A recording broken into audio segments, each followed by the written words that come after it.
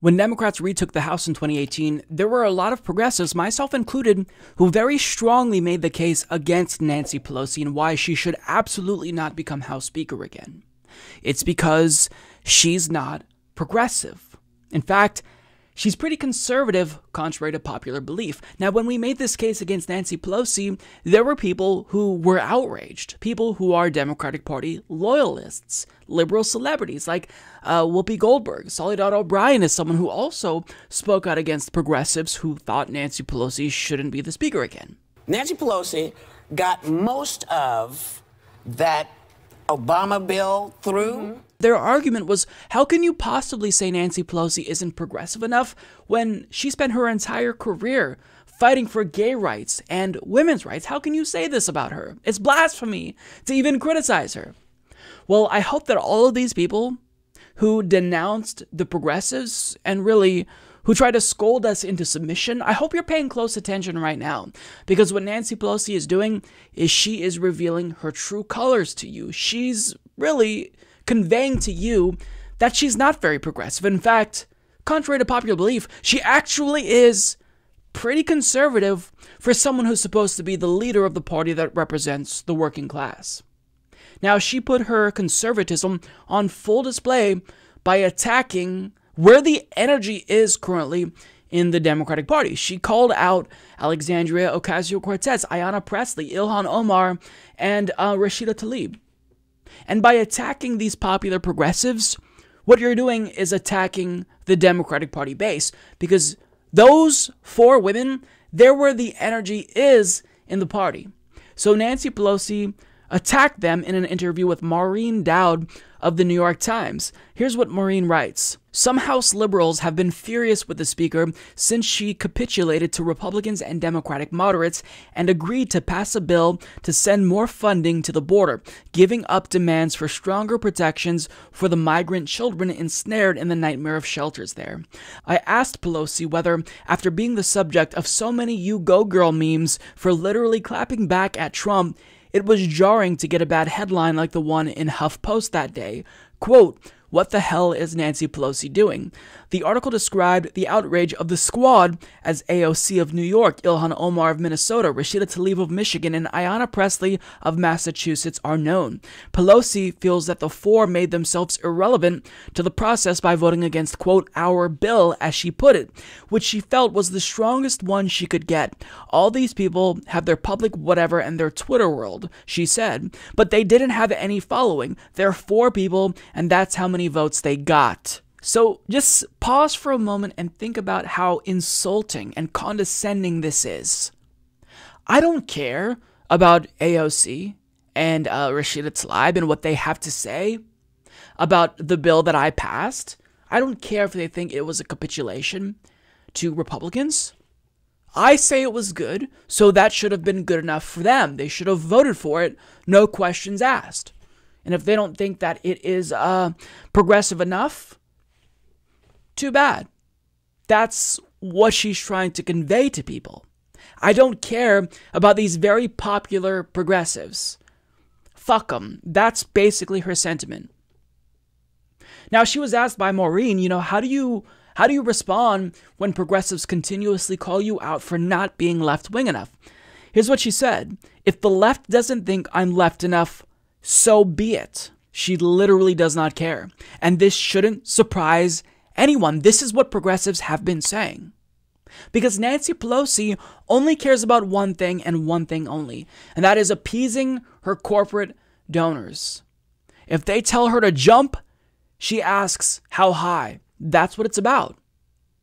See, she doesn't like members of the squad, as they call it, like AOC and Ilhan Omar, because they often pit her against her donors, right? They make her look bad because when AOC comes out and says, look, we should have Medicare for all, that forces Nancy Pelosi to defend her corporate donors and the health industry and say, well, you know what, maybe we shouldn't have Medicare for all. Now, she can't present you with a good reason because her lack of support for Medicare for all hinges on the money that she's receiving. It's corrupting. So she has to find a way to make it seem as if, well, you know, just being against Medicare for all is the rational position, when in actuality, we all know this is a capitulation to her donors. If her donors say, look, I want you to back off of Republicans because, you know, we want to make sure that we can make money off of these concentration camps that Donald Trump is locking immigrant children in, then she's going to back off because that's what Nancy Pelosi does. She raises a lot of money. She is a prolific fundraiser. How do you think she became the Democratic Party leader? She became the Democratic Party leader by raising more money than anyone else. In other words, she sold out more than anyone else. When you raise that much money, that corrupts you. When you take money from every single special interest in existence, that has a very corrosive influence. That influences you to think about what they want as opposed to what the American people want. And, you know, it wouldn't be as bad if this was just contained to Nancy Pelosi. And she was the only one who was getting corrupted by money in politics. The problem is that since she's the leader, she also is making a lot of other Democrats dependent on her corporate fundraising, which in turn makes them also sellouts because they're selling out by proxy of Nancy Pelosi. She acts as a conduit for corruption and she's bringing everyone down. She's making the entire aggregate Democratic Party less popular. I mean, it's not surprising that Democrats lost more than a thousand seats in state legislatures across the country under her leadership. It's because voters aren't excited to come out and vote for this brand of corporate Democrat who doesn't want to do anything for them and is only appeasing their donors. So, do you understand now? I need people to understand that when we called out Nancy Pelosi, unlike what you were saying we were motivated by, ageism and sexism, we were calling her out because this is what she represents corporatism. And it's not just that she alone serves the donors exclusively, but then she is also going after people who don't serve the donors, who actually represent the people, because these new progressives make her look really bad. When you juxtapose AOC with Nancy Pelosi, the difference is night and day. You see how conservative Nancy Pelosi is. So AOC responded to Nancy Pelosi and she said, That public whatever is called public sentiment, and wielding the power to shift it is how we actually achieve meaningful change in this country. Ilhan Omar also chimed in saying, you know, they're just salty about who is wielding the power to shift public sentiment these days, sis. Sorry, not sorry. And that's exactly right. You see, these progressives, Rashida Tlaib, Ilhan Omar, AOC, they make corporate Democrats look so bad because basically all that we've had is corporate Democrats. So when you actually get to see people in power who are fighting for the people, it really forces other Democrats to step up and do better. And they don't like that. They like just being able to be slightly less shittier than Republicans and then keep getting, you know, elected into powerful positions because, you know, it's easy that way. But when you actually have to put up and present progressive policies, they hate that because that means they're going to be pitted against their corporate donors, which again is something that they absolutely do not want because Nancy Pelosi got to where she is today because she's cozy with these corporate donor. She's as corrupt as you could possibly be in DC. So that's why she's lashing out. Now, I also want to show you what Rashida Tlaib said because she was interviewed by Martha Raddatz of ABC News, and um, she you can you can tell she was not happy with what Nancy Pelosi said here. And um, here's what she said about why their voices should be respected and not dismissed, as Nancy Pelosi frequently does. The Speaker of the House, Nancy Pelosi, said that you and the three other progressives made yourself irrelevant to the process by voting against the bill. All these people have their public whatever and their Twitter world, she said, but they didn't have any following. They're four people, and that's how many votes they got.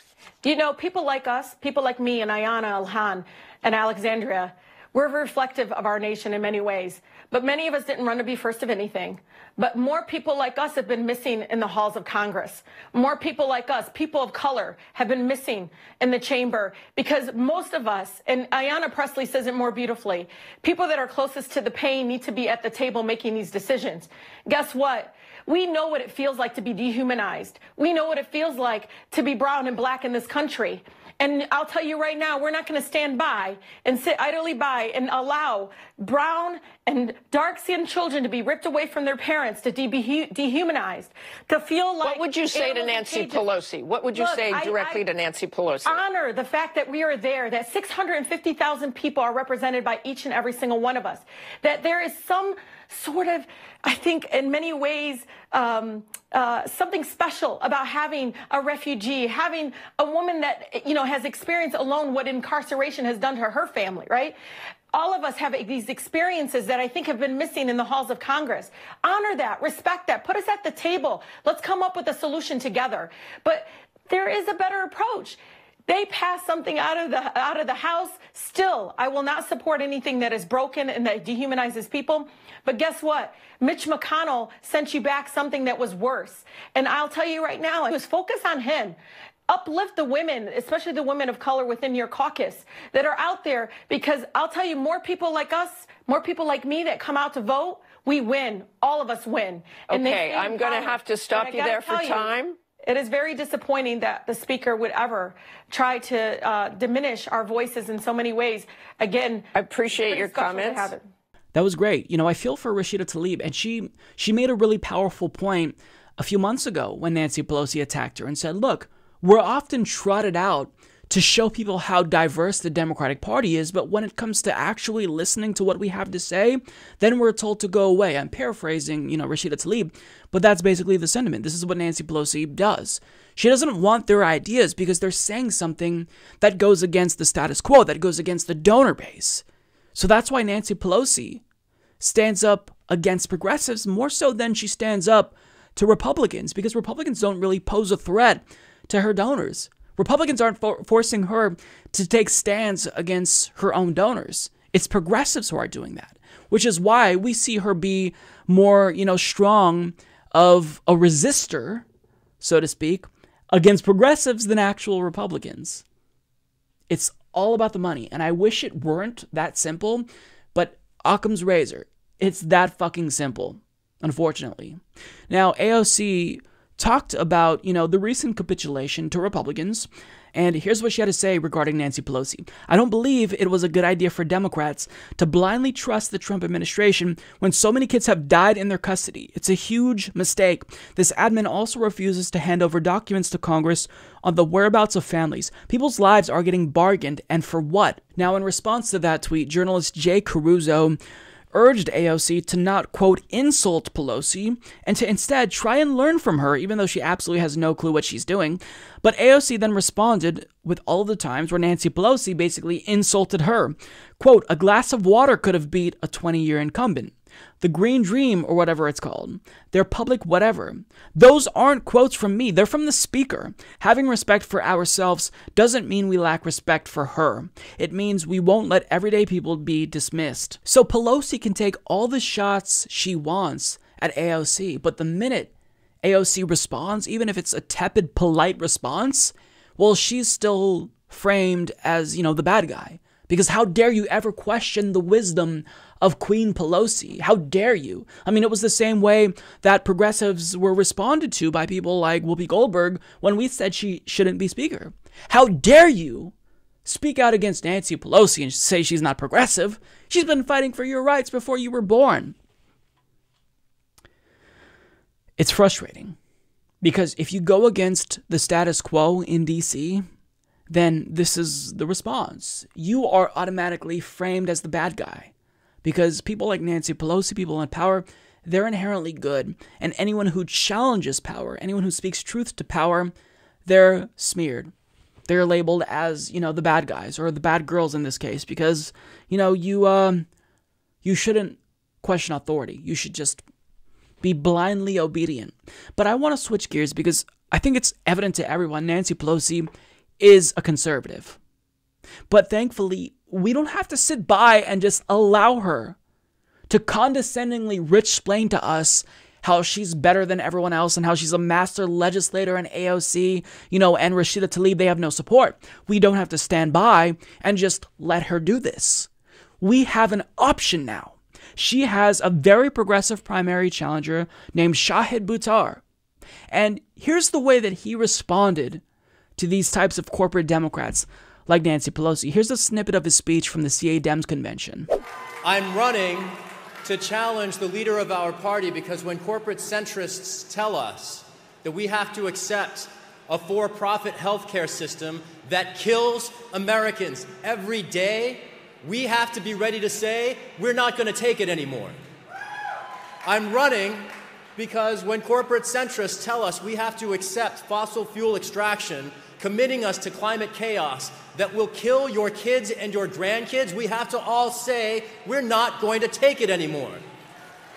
And I'm running because when corporate centrists tell us that we have to accept a prison industrial slavery complex, making a mockery of justice, we must say, we're not going to take it anymore. Now, just by listening to him speak for 45 seconds, you already see the difference between him and Nancy Pelosi. It's clear.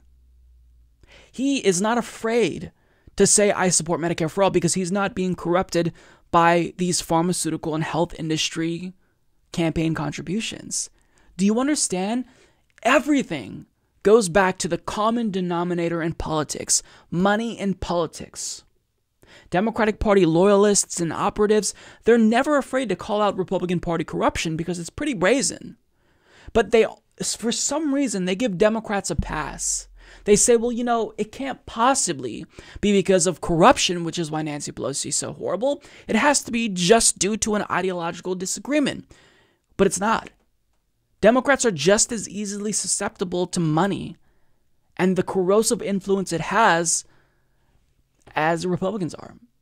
And you see the difference when you look at Sh- Shahid Buttar challenging Nancy Pelosi and Nancy Pelosi herself. It's all about the money. Now, I'm going to leave you with some more of Shahid Buttar because he's your ticket. He's offering you a way out of this nightmare with Nancy Pelosi as leader of the Democratic Party. And I think it would behoove all of us to support him and send him whatever support we possibly can manage, be it a dollar or phone banking, because he's someone with actual principles and values, and he's fighting for real progressive policy positions because he's not sold out. He's not corrupt. And I think he makes that very clear in this ad. So I'll leave you with this. Support Shahid Buttar. Watch out, Washington. We the people are coming to take back Congress. And we're bringing with us some big ideas like Medicare for All and a Green New Deal. We did it in New York. We did it in Minnesota. We're doing it on the national stage, and now we're bringing that voice back to San Francisco. My name's Shahid Buttar. I'm running for Congress. I'm an immigrant. I'm a Muslim. I grew up in rural Missouri. When I was 16 years old, my family lost our house as I graduated from high school. I got my undergrad degree while working full time after 10 years of night school. Then I went to Stanford to study and teach law. I've fought for your rights for 20 years, from San Francisco to Washington, D.C., as a constitutional lawyer, policy advocate, writer, educator, and grassroots organizer. And now I'm running to serve the people of San Francisco by fighting corporate corruption in Congress. We don't have the corporate cash that's kept Nancy Pelosi in office for 30 years. In fact, we just don't take corporate money. That's why we're mobilizing the community, meeting in living rooms and neighborhood centers, why we're out in the streets fighting for change, demanding universal health care, fighting for your children and grandchildren's right to a future free from climate crisis and a government for, of, and by the people instead of the 1% a voice for school teachers, working class families, and immigrants, the 99%. This movement is just getting started. After 30 years of the same representation, San Francisco deserves a champion willing to return our city to the front lines of the progressive movement. Our city stands for inclusion and pride, peace and justice, and environmental sustainability. We can't wait another 30 years for our leaders to evolve on climate change. Delay is no better than denial. The time for action was yesterday.